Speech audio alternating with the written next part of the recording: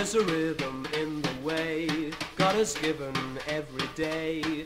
Every morning and evening as a new creation, telling the glory of God. There's a rhythm in the year as the seasons reappear. Every sign of spring and summer, autumn and winter, telling the glory of God.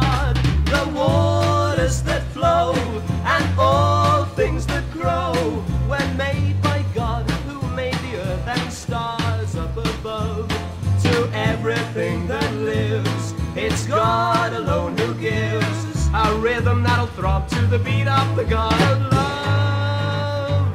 There's a reason and a rhyme in the world of space and time that's in tune with the rhythm of the universe, telling the glory of God. But man in his pride, God's rhythm has defied. He's gone so wrong, and for so long, he's out of step with love. There's nothing he can do.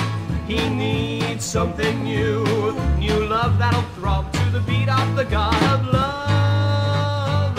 So the new man, Jesus Christ, on the cross was sacrificed, and the beat of the heart of the Son of God stopped.